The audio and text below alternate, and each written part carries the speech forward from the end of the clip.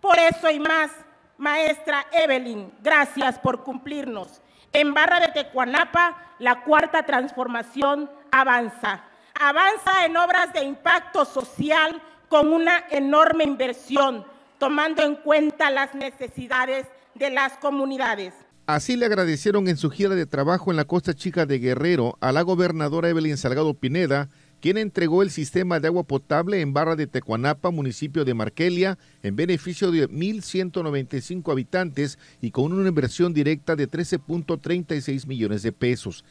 La mandataria estatal dio a conocer que dentro del programa de las 50 obras por Guerrero, Tan solo en Marquelia se destinarán más de 40 millones de pesos para acciones de infraestructura y temas prioritarios para ese municipio.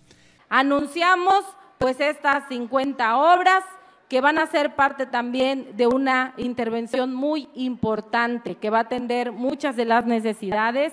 Marquelia, eh, Marquelia va a tener eh, acciones muy importantes que van a sumar solo para este 2024 más de 40 millones de pesos, presidente. Así que son obras muy importantes, 40 millones de pesos únicamente para Marquelia.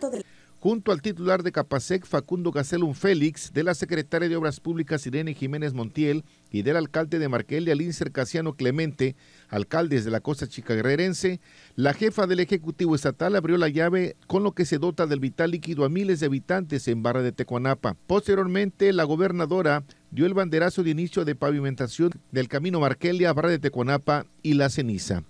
RTG Noticias, Mar Horacio Ramos.